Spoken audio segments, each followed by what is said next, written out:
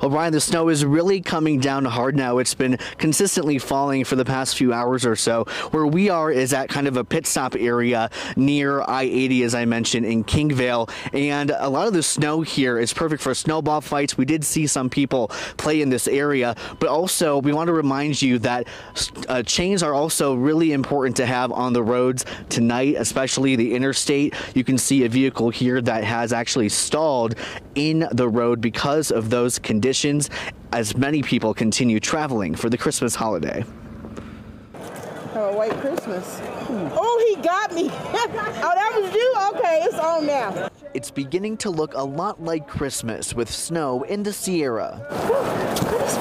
This is only four-legged Freya's second time prancing through the white powder during a pit stop on the way to Loyalton, and it's safe to say she loves it. Absolutely, that's why we came up here to to uh, go be in the snow for Christmas. With plenty of snowflakes falling from the December sky, a lot of people have the same idea. This is a look at the traffic backup on I-80 eastbound near Kingvale. Drivers pulling off to the side of the interstate to follow the chain control requirements. Caltrans even had to hold traffic on I-80 at Nyack Thursday afternoon because of spinouts. I like that a lot better. This chain installer keeping busy, helping people as they head through the mountains. Good for business, great for business.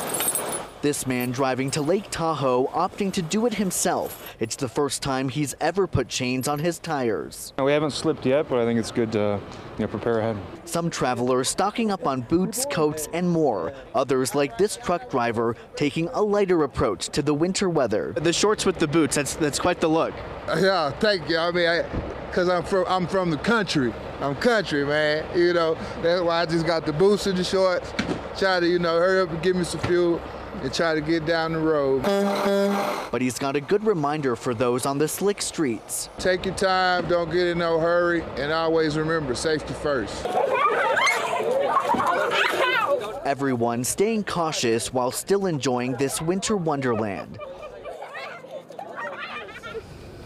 Caltrans is also reminding everyone that the maximum speed limit is 30 miles per hour while those chain control requirements are in place. Again, those chains hoping to prevent situations like this here. You're also reminded to check your windshield wipers and your tire pressure before hitting the road. We're live tonight in Kingvale, Orko Manna, KCRA 3 News. Yeah, that's all always good advice, Orko. You know, we tell people all the time, but uh, sometimes it just helps to hear it and reinforce it for sure. Thanks.